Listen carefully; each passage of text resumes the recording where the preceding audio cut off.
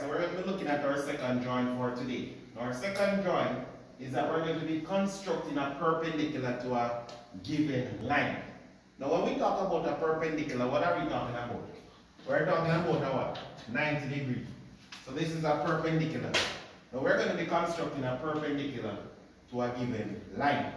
Now of course, we're going to be starting off in our given line. And let us say that our given line AB, our given line AB is 100 millimeters. So given line AB is 100 millimeters.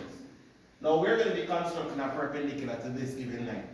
But firstly, we need to identify where will our perpendicular be. So let us say that our perpendicular will be right there at C. Are we clear? So we're going to be constructing our perpendicular C. Now at C, we're going to be opening our compass at C to a suitable radius. Now when we talk about suitable radius students, you are the one have to decide, you know what is suitable to you. So I open my compass at C to a suitable radius. And then what I will do is that I will swing, I will swing some arcs to cut my line.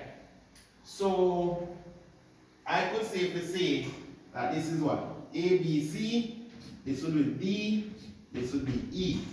Are we clear? So we have our what? Two arcs, our E and our D.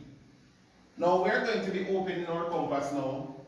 And uh, at E, we're going to be swinging an arc at E. We just swing an arc from E. Now without adjusting or changing the radius of our compass students, we're going to be going to D and we're going to be cutting that arc. Now you realize that where that those arcs intersect, where those arcs intersect, we're going to be calling that point what? F. So through F to C, we will now have our perpendicular. So we're going to be drawing our perpendicular. Alright? So you realize now that you have constructed a perpendicular to a given line. So we hope you have fun practicing this drawing.